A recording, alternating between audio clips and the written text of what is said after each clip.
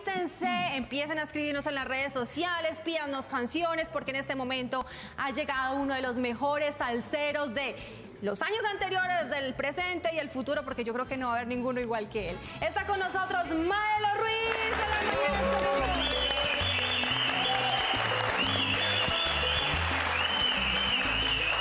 ¿Cómo estás, Maelo? Otra vez. Maelo Ruiz. Cuchi, cuchi, cuchi, cuchi. Gracias por esa presentación tan bonita que me acabas de hacer. Gracias. Dijiste uno de los mejores. Hay muchos mejores. Yo nunca me considero, pero si tú me lo dices, Pero con para mucho nosotros respeto. sí. Y Qué lindo, quedó muy bonito. te muy lindo. apreciamos muchísimo aquí Te en nuestro agradezco país. mucho esa palabra preciosa. Que, que me estás diciendo. Eh, y yo me siento aquí como, como un rey, porque estas mujeres tan, tan lindas que tengo al lado. Nosotras privilegiadas, No, imagínate tener tremendo monstruo de la canción que con uno lo menciona y ya todos se van preparando, van Gracias alistando. a Dios. Yo creo que van a dejar las cámaras en automático para ponerse a bailar. Qué bueno, no, mira, yo contento y feliz de estar aquí en este país que me ha dado todo lo que tengo y todo lo que soy, se lo debo a Colombia. Yo vine a Colombia por primera vez en el 1987, Sí. a la Fe de Cali, cuando yo pertenecía a la orquesta de Pedro Conga. Ahí estaba flaquito, ahora no sé, ¿En ahora, ahora, bueno, no, no se parecía a mí cuando yo empecé. La voz sí. La voz No sí está- cambia, mira, fíjate, fíjate, la, la voz este es- está intacta en el sentido de que me he cuidado, pero mucha gente me dice, oye, Maelo, y cuando tú estabas con Pedro Conga, tú tenías un estilo de voz finito, bien, y ahora cuando cambiaste ahora para acá, para cuando yo vine con, con, con Diego Galé y, y Codico, que fue para el 2003, pues se cambia un poquito, pero la gente le gustan los dos estilos, que es, es lo importante de esto. Y fíjate, esta noche vamos a estar en Keos, discoteca, Sí. eh, el, el concierto de rumba de... Ya, yo creo que de- se puede de- de hacer un concierto de vacaciones. Vacaciones, Día del Padre, fin de semana, de disfrute, de lo que sea, pero que sea una excusa para ir a verlo, escucharlo y Sí. bailarse todas las canciones. No, y mañana vamos a estar en Plaza Mayor, Ajá, eso en va a ser Medellín, Medellín. Medellín, si Dios quiere. La otra semana arriba, este, después los padres, estamos en Ibagué, después estamos el 4 en el, en el Pedregal de Jumbo en Cali, después estamos el 3 con Dinamarca, después estamos el, el 14 de agosto en Pereira. Qué Estamos rico. también, no, bueno, ¿dónde Y así estamos? continúa hasta diciembre y el ¿Dónde no otro año y el otro Y año. entonces voy a estar el 17 y 18 en Canadá celebrando la independencia colombiana Ay, y el bueno. 19 en Los Ángeles celebrando la independencia colombiana. Ay, ay, o sea que voy a estar en otro eh, país, pero con los colombianos. Maelo sería como una colombiano. combinación New York corriqueño colombiano. Una cosa así, ¿verdad? Ahí más o menos, pero me paso más acá que Te allá. pasas más acá. Todo el mundo me dice que si vivo aquí en Colombia, contento y feliz que me digan eso. Llegaste por primera vez a nuestro país en 1987 para una feria de Cali, De que me encanta Cali, eso porque yo soy caleña. Y ahí estaban temas como, si te acuerdas, Amor de Cristal. Sí. Estaba tu amor como noche de mar, no te quite la ropa, vicio. Ha pasado el tiempo y hoy, igual que una fiera, eres dueña de mi vida, se me parte el alma. Y el, y el más clásico, hola, ¿cómo, ¿Cómo estás? Esos fueron los éxitos de Pedro Sí, Conga. salsa clásica. Sí, después vino, te necesito, mi amor, que jamás habrá nadie igual que tú. Mi mundo es de ella. Y en el 2003 firmé con Codico, con el maestro Diego ahí hicimos, te va a doler, por favor, señora. Bueno, No, es que todos son amiga. éxitos en realidad. De todas estas canciones que siempre se piden en los conciertos y que las mujeres gritan, pero Maelo, por favor, cántala y repítala. ¿Cuál es la que en todos los países que tú visitas te piden? Más allá de que sea solamente en Colombia. Pues mira, por ejemplo, si es cuestión de romántico, me piden, me piden regálame una noche, o me piden hola, ¿cómo estás? O nadie igual que tú, pero si es la poca vergüenza de la infidelidad y del despecho, pues te va a doler. Ese, va a doler. ese es el clásico. Porque yo siempre cuando voy a los bailes siempre digo, te va a doler para lo último. Y la gente me dice, Malo, te va a doler, todavía no. Cuando está prendida la gente. bueno, y aquí para comenzar entonces, ¿con cuál nos vas a deleitar? ¿Cuál canción? Bueno, no, yo siempre hago mis cosas a capela. Yo puedo cantar, regálame una noche donde te entregue toda, que solo sea la luna la que acompañe la pasión. Regálame una noche que no termine nunca, donde el cansancio sea solo el vencedor. O puede ser, no, si te vas yo me muero, no, no, por amor de Dios, quédate a mi lado. O si no, este amor que me mata, este amor que no entiendo, este amor que desangra y que envenena el sentimiento. Y el nuevo tema de Maelo Ruiz con, con, mi disco este, romántico boricua. ¿Quién te enamoró? ¿Quién me robó el dulce néctar de tus labios? ¿Quién te bajó la luna y me la puso entre tus manos? ¿Quién si no fui yo? ¿Quién te ilusionó? Dime quién te enamoró. ¿Quién ha tronchado el sueño eterno que vivimos?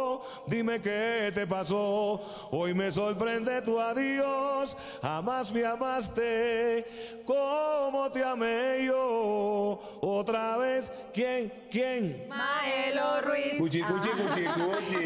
Esto que acaba de hacer Maelo solamente lo puede hacer un gran artista. Ese clic entre canción y canción, recordar inmediatamente cada una de ellas. Y, ustedes inspirándome. Y ustedes pero nosotros, eso, todo esto es lo que vamos a, poder disfrutar esta noche en Keos, empezando este rumba, concierto de vacaciones. Vamos a hacer 20 temas esta noche en Keos. Así que temas que hice como anteriormente con de Pedro Conga y también como solista. Así que van a pasar una noche muy linda. Y que ya saben que van a pedir, te va a doler al final, y la va a cantar al final. aguántense, Yo siempre digo, te va a doler, pero te va a gustar. Esa canción que estamos escuchando de fondo es la más Esa es la nueva. Ese ¿Quién te enamoró? ¿Quién te enamoró? 75 Romántico y Boricua con mi sello MR Record, hecho en Puerto Rico, pero para todo el mundo. Y en ese disco hay compositores colombianos, venezolanos. Por cierto, después de ese tema viene un tema que se llama Amar Nunca Más Lo Juré, que es letra de un caleño, John William Urpegui, y arreglo de un poricua, Humberto Ramírez. Así que tenemos músicos de todo el mundo entero. Qué bueno. Maelo, ¿cómo hace usted para estar en gira promocional de conciertos, producir, viajar, organizar? Denos como ese truquito para que todos podamos también tener esa misma vitalidad, esa energía y que todo salga bien. Pues mira, primeramente, esta vida del músico no es fácil, es muy sacrificada pero yo creo que el público es el que te anima, el que te quita el cansancio, porque no es fácil, tú sabes, tú estás haciendo promoción para aquí, para allá, estás en baile y todo, pero cuando tú ves un público que te dice una foto, Maelo, o dame un autógrafo, yo creo que se le quita todo lo que tiene. Yo creo que yo para el público siempre he sido no un cantante ni un artista.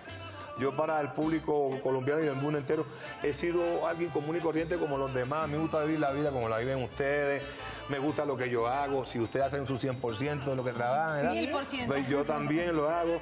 Y te doy gracias a Dios por una voz que me dio. Y yo trato de siempre grabar temas que la gente le guste. Y siempre digo, si tú haces una cosa y gusta, deberías seguir siempre haciéndola para el público. Hay que pensar más en el público, que es el que te dice que te puede subir, que te puede bajar. Las cosas llegan cuando uno menos le espera. Y es bonito siempre mantenerla. Y yo siempre tengo muchos recuerdos lindos. Y yo, si algún día, si me, si me, me, yo dije que me quite la música, pero me llevaré un recuerdo muy lindo del público del mundo entero, especialmente ustedes los colombianos, porque ustedes han hecho que yo ir a sitios que yo nunca pensé ir. ¿En serio? Sí, yo fui, yo fui a Australia, mucho colombiano. A, Europa fui hace poco, a tres semanas, colombianos en cantidad. Sí. Si vas a Panamá, que fui la semana pasada, colombiano. Costa Rica está lleno de colombianos. Canadá está... También, también Canadá, mucho de colombianos. Entonces digo, ustedes son los responsables de que yo tenga vida. Así que agradecido de este país. Asumimos esa responsabilidad con humildad. No, pero buenísimo, buenísimo, porque es bonito. Si tú estás en el país, pues está bien, cosas en cantidad. Pero tú ir a otro país y ver colombiano o de diferentes países, Venezuela, Panamá, Latinoamérica, es bonito, es bonito porque te lleva un recuerdo lindo. El cariño, el aprecio es mucho. Igualmente. Y nosotros aquí en Colombia te seguimos los pasos desde cuando estabas hablando, cuando estabas más pequeñito, tenemos aquí un recuento de fotografías que queremos Ay, compartir no puede ser, es verdad. Mira, Ahí están las fotos. Ay, Esta, por ejemplo, ¿en qué momento es? Mira, Ay, mira, está chiquito. Ahí está como está chiquito. Ahí tenía no sé cuántos años, no me acuerdo, pero Mira cómo ustedes sacaron esa foto. En ese entonces que tendrías que ese pitico este fue, este, este, fue, sí, este, este, fue el disco romántico y boricua.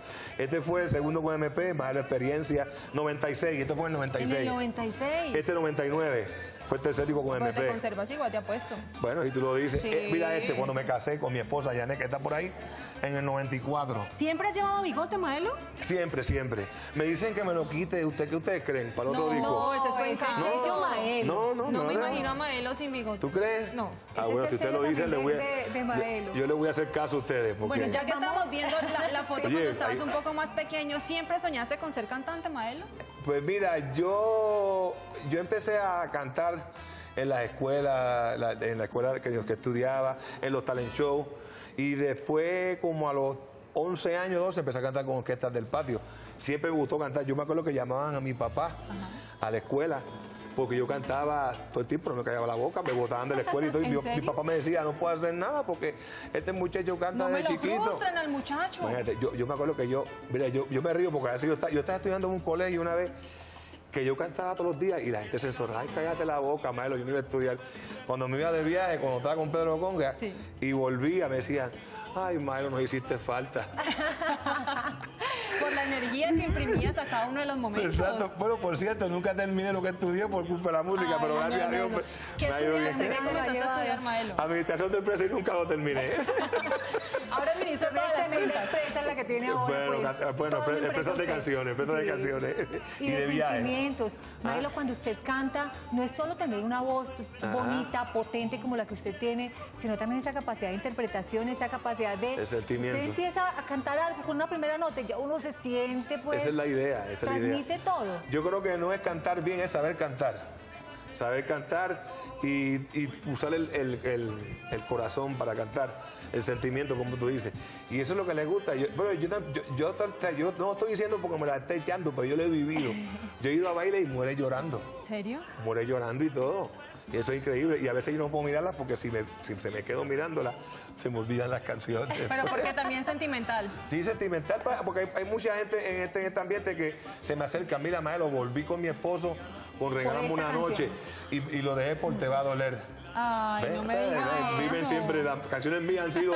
Bueno, los otros días me llamó un muchacho en Panamá, que yo estaba en la emisora, me dijo, mira, Maelo, con apasionadamente, que fue un tema que, que, que- que fue de que usted solista primero.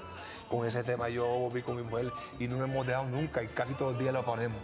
Eso es bonito, eso es bonito. ¿Tiene canción favorita?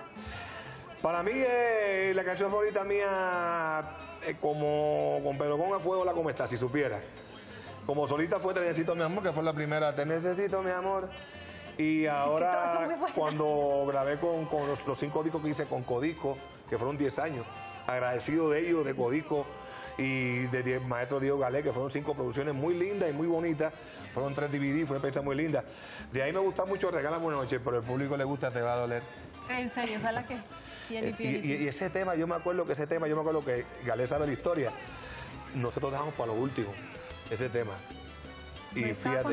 No tra- tra- teníamos- el, el disco era de 11 temas y teníamos 10 y ese fue el 11. Ah, no la tenían no para incluirla de pronto dentro del álbum. Y entonces lo pusimos ahí y de momento, pues, ellos se arriesgaron a sacar así eres tú, pero cuando sacaron Te va a doler, la cosa fue Se increíble. Fue En este momento tu carrera tiene proyección internacional, la música se escucha por todas partes, Gracias donde a la Dios. gente le guste la salsa claramente y suena muy bonito. Uno dice, no, Mael es muy exitoso, no sabemos Bueno. todas las canciones. Gracias, pero, gracias. ¿qué recuerdos tienes de, de tu comienzo? ¿Fue así de sencillo como parece? No, no fue fácil, ¿sabes? Fue muy sacrificado, de verdad. Y yo tuve siete años con la orquesta de Pedro Conga. Y está bien, estoy agradecido de Pedro Conga porque si no por él no estuviese cantando ahora. Pero cuando tú perteneces a una orquesta, pero no tienes el mismo crédito que tienes cuando te entras como solista. Sí. Cuando yo me lancé como solista se me hizo bien difícil, ¿Sí? ¿sabes? Bien sacrificado. ¿Por qué?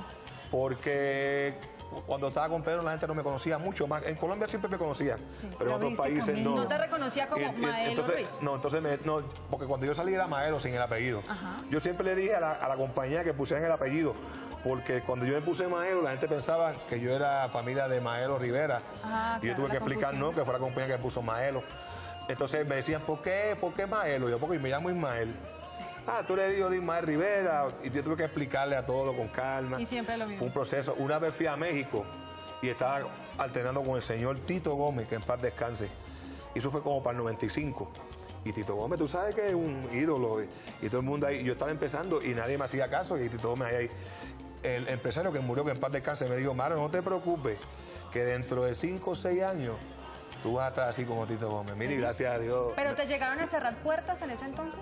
¿Alguien que te dijera, no, yo no creo mucho en Bueno, al principio sí, se cerraban puertas. Entonces yo en el 99 me retiré de la música porque estaba con la compañía, no estaba pasando nada. Eh, me empecé a trabajar en un sitio que era recreación, y- recreación y deporte, que era haciendo parques y patios en, en en todo. ¿Y ahí el- cuál era tu función? No, no, yo, era- yo pasaba la de rastrillo. ¿En serio? En el parque. Y una vez, y una vez ¿Qué me era un parque, no, y era un parque que tenía casas atrás, casas. Y de momento yo estoy así pasando el rastrillo y me pu- y me puse a cantar. Para emparejar como el, el terreno. Exacto, sí, sacando la, la- la basura y todo eso. Y en todo momento yo estoy cantando y todo, y una señora sale de la casa y me dice, muchacho, salte de ahí, tú estás perdiendo tu tiempo, ¿Sí? a, can- vete a cantar. Vete a cantar, claro. Sí, pero, no, pero no- no fue fácil, no fue fácil. Tú sabes que este ambiente hay mucha gente que te quieren, mucha gente que no te quieren, Sí. hay mucha gente que no saben, eh, eh, mira, para tú ahí está, Dios me escuchó, piña, ahí la está piña, la eh, piña. eh, la vibración. Eh, En este ambiente, pues, cuando tú estás empezando, te dicen, oye, Maelo, pero echa para adelante, este, ponte a viajar, que tú eres un cantante que cuenta que tiene una voz chévere. Y ahora como está viajando mucho, pues hay mucha gente, pues, pero la gente no sabe que eso ha sido base de sacrificio. Claro. Entonces, la gente no sabe, la gente no sabe que uno se levanta temprano, que uno tiene que sacrificarse, uno tiene que agarrar aviones. A veces uno va a un baile y va a empezar a, la- a las 8 de la noche, empieza a las 12, 1 de la mañana.